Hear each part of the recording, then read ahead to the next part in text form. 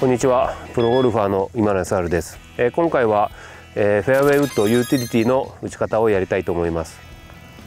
えー、残り距離がだいたい220ヤードぐらいですね、えー、この220ヤードぐらいとなるとだいたい僕の場合はこの3番のユーティリティか5番ウッドどちらかにはなるんですけど今回だとちょっとやっぱ左がダメっていうのがあるんで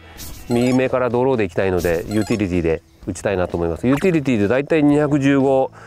ぐらいなんで普通に打つとちょっと弱いんですけど220あるんで5ヤードちょっと余分に飛ぶようにちょっとドロー目で打ちたいって感じですね。これがもし仮に左がダメじゃなければ5番ウッドでちょっとクリあフェード目に打って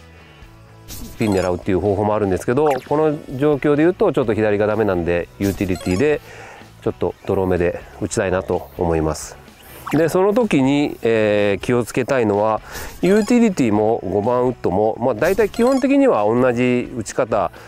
を僕はします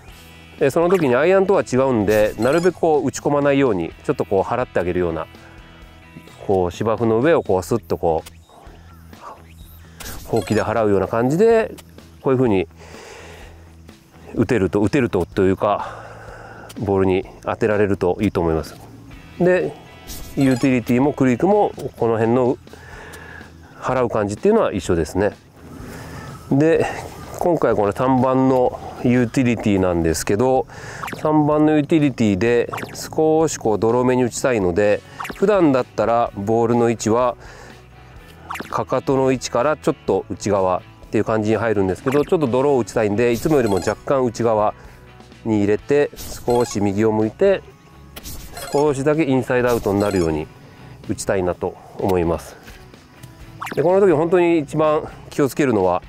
しっかりこう芯に当てることですね。飛ばそうと思って打ち急いだりすると芯に当たらなくなってしまってなかなかその距離飛ばなくなるんでしっかりボール位置をかかとのラインから少し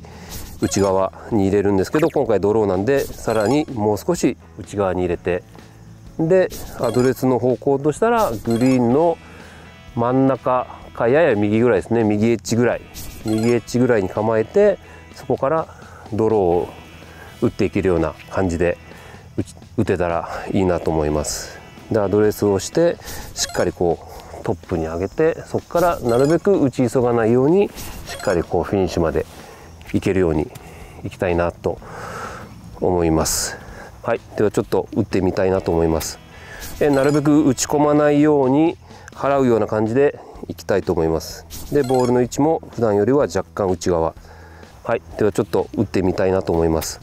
えなるべく打ち込まないように払うような感じでいきたいと思います。でボールの位置も普段よりは若干内側。でグリーンの右端ぐらいですね。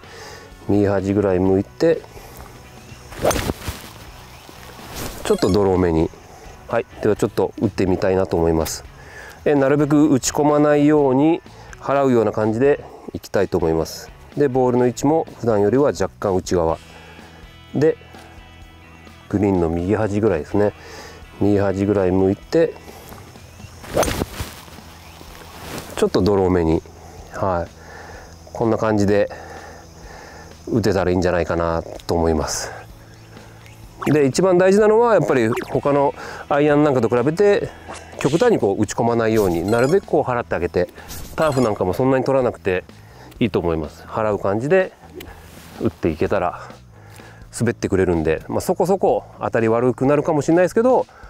ぼちぼちのとこまで行くと思うんでそんな感じでやってみてください。